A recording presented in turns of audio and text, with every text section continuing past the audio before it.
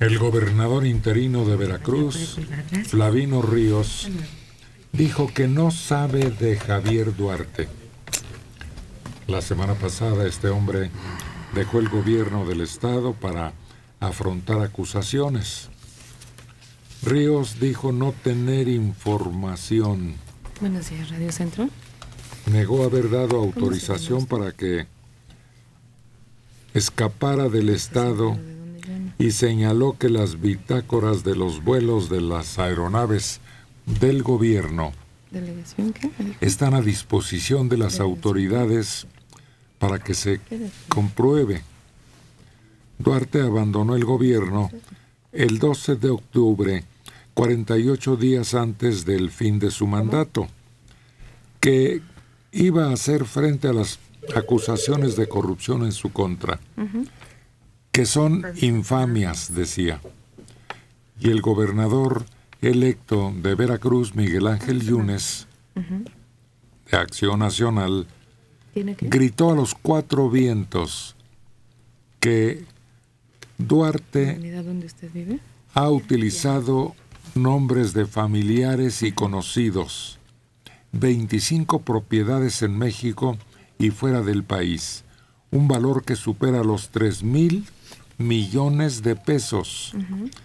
La auditoría de la federación reportó que hay una deuda pendiente de solventar en Veracruz, un estado que hoy tiene una deuda pública de 52 mil millones de pesos.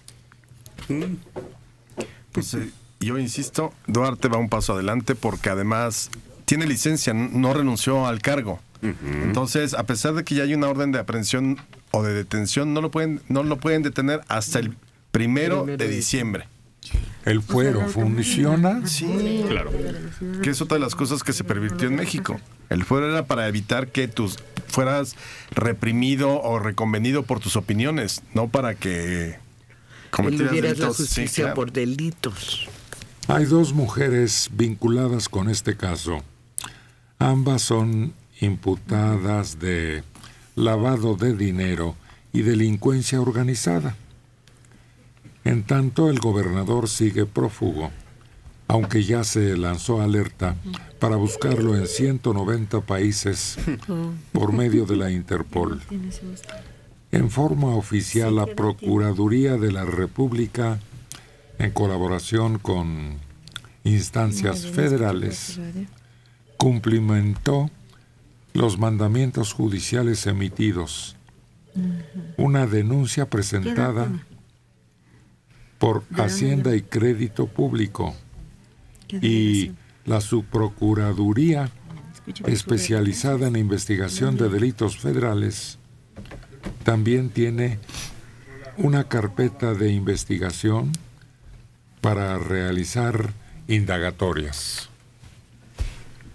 Ya hay por ahí uno de los detenidos que dijo, sí, yo soy prestanombre y sí, lo que daría un caso completito para poder echarle el guante encima. Pero yo todavía me pregunto, no lo sé ustedes qué opinen, si lo van a agarrar o no. Yo no, sé por qué apostaría.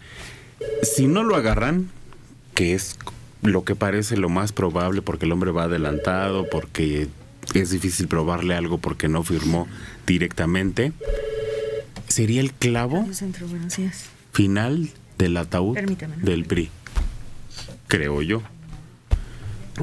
Y por otro lado, si el PRI tuviera un poquito de inteligencia, lo atraparía porque sabe que eso sacaría del ataúd el cadáver del PRI. Entonces, pero yo no apostaría, no sé qué va a pasar.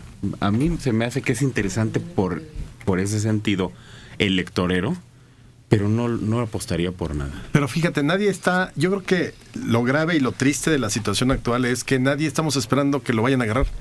Es decir, ¿alguien está sorprendido de esto? No. ¿Alguien está así de, es que cómo se les fue? Lo dijimos aquí, se ha mencionado en todos lados, o sea, realmente la, gente está como de... Era lógico que se les pelara. Ya lo sabíamos. Va a aparecer en Canadá donde no hay tratado de extradición para este tipo de delitos ¿Cómo se llama usted? Va a saludar allá a Napoleón Gómez Exactamente. Sí, por videoconferencia. Y nos vamos a ver. Y el que habló pudo haber sido por dos causas. O está dolido y está en contra de Duarte porque lo dejó colgado y en la cárcel y este se largó. O bien es una estrategia para decir, bueno, sí, fui delincuente, sí, sí hice esto y eso sabemos que le baja la pena. Ahora, por otro lado, lo que siempre has dicho, Héctor, igual no, no, el PRI no quiere que Duarte caiga por lo que puede saber. Igual no tiene el peso que tuvo Moreira en su momento. Pero es gente que ha estado en el PRI, que ha militado, que, que era gente de Fidel, que era... Es decir, hay, hay muchas cosas que pueden saber y que pueden decir más allá de lo que fue nada más su sexenio. Sí, y además es la razón de ser del PRI proteger este tipo de cosas, que estas cosas se cometan sin consecuencias y e iría contra su razón de ser. Es como aquel sapo que traslada a un alacrán, a un alacrán en, en la espalda, en, en, una inundación, y a medio río lo mata el sapo, le pica. ¿Por qué? Le dices, pues es, así soy. Soy del PRI. naturaleza. Es mi naturaleza. La prueba máxima fue cuando se dio a un amigo la investigación del asunto de la Casa Blanca. ¿Qué más prueba quieren de que efectivamente los políticos actuales hacen sus trinquetes para que todo aparezca como normal? Y es que comparar a Duarte con lo de la Casa Blanca es hasta risa, ¿eh? Oye, eso de la Casa Blanca eh, eran caca, como dicen, cacahuates, comparado con, con monedas, con denarios que tiene este. Sí. Este es en serio. El, robo es. Sacadero. No, y, por ejemplo, el caso del arrecife, Emilio Gamboa. Pues, era e-, evidente que van a usar el arrecife o tenían la intención de usar el arrecife para hacer un gran hotel y un gran resort, como lo llaman. Eh, es la única explica, por eso están ahí, ellos no les interesa la naturaleza y por eso iba un empresario hotelero y por eso iba un funcionario de, de Fonatur y la declaración del que lleva la bitácora de los vuelos, bueno, de plano, nos creen tontos, pero retontos. Bastaría con que se volteara a otro lado en lo que sale el avión. Con eso basta. Total, no apunta el vuelo y ya, ¿de qué te sirve la bitácora?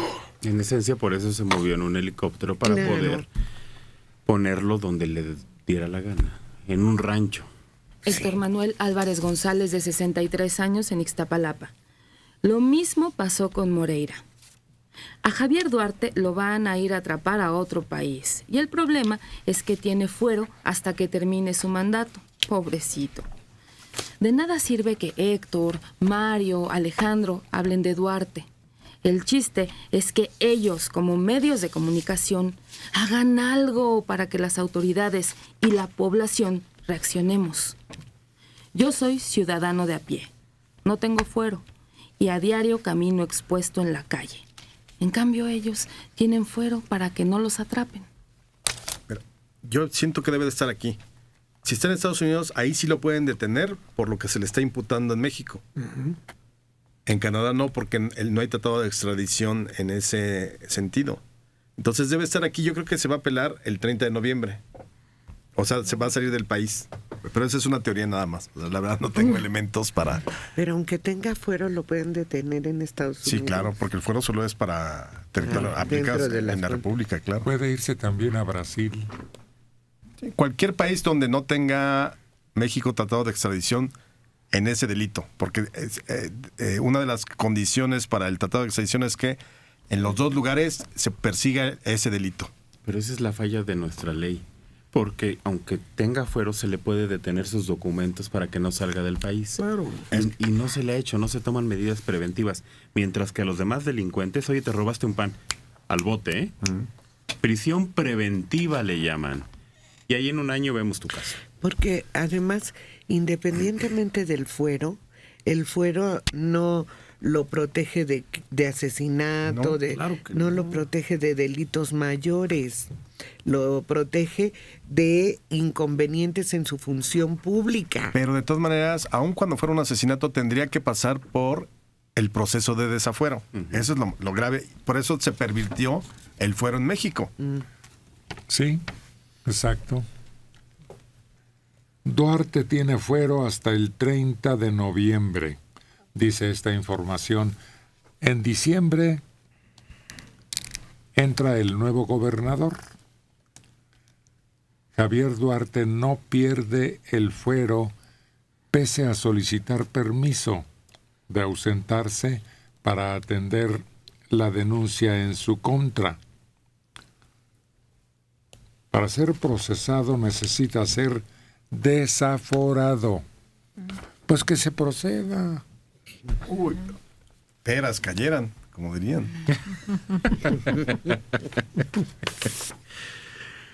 Pues ¿por qué sembramos obstáculos para el cumplimiento estricto de la ley?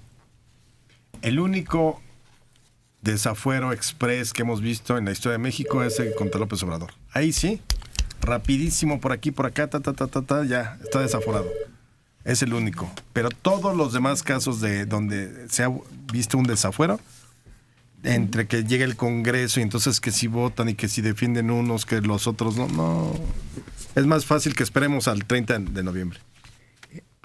el de Bejarano también fue rápido. ¿Cómo se llama? El de Bejarano. Bejarano no era diputado. No, tenía fuero Bejarano. Bejarano eh, quería ser diputado y estaba juntando dinero para su campaña. campaña. No lo desaforaron, ¿no? No, no, no. Y él ya había renunciado a su puesto de, ¿Cuál es su mensaje? de, asesor. Teresa Camacho Jiménez, de 58 años, en San Pedro de los Pinos.